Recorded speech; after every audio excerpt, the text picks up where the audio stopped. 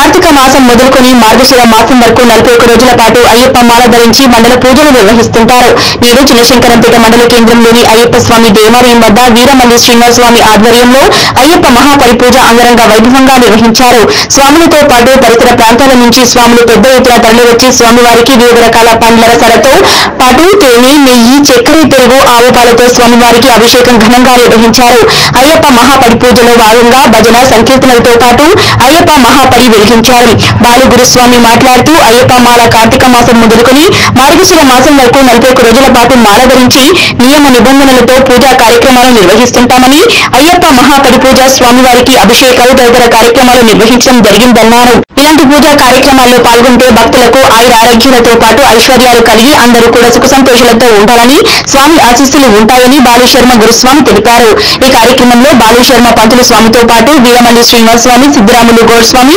శ్రీనివాస్ స్వామి భూపాల్ స్వామి కృష్ణమూర్తి గురుస్వామి జనార్దన్ రెడ్డి స్వామి రమేష్ గౌడ్ స్వామి నరేందర్ స్వామి రంగారావు స్వామి చంద్రయ్య స్వామి లచ్చల్ స్వామి గిరిస్వామి రామచంద్ర స్వామి రాజేస్వామితో పాటు వివిధ మండలాల నుంచి వచ్చిన స్వాములు పాల్గొన్నారు.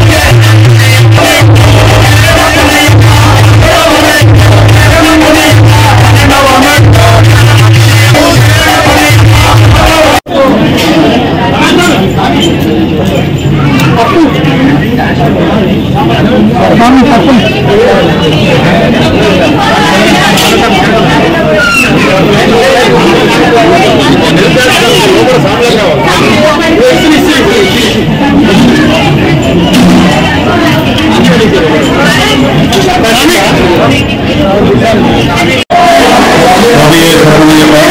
అఖిలాండపురి బ్రహ్మాండనాయకుడు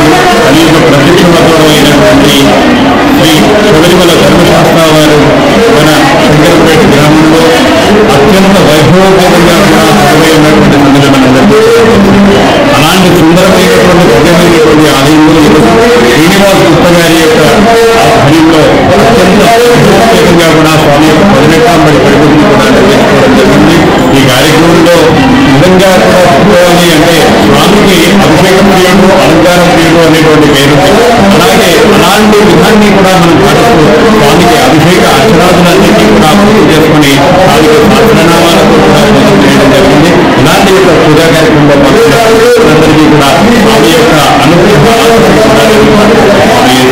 వరకు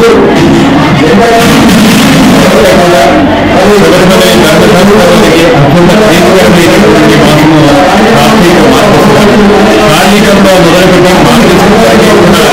మండల కాలము దీక్ష వహించి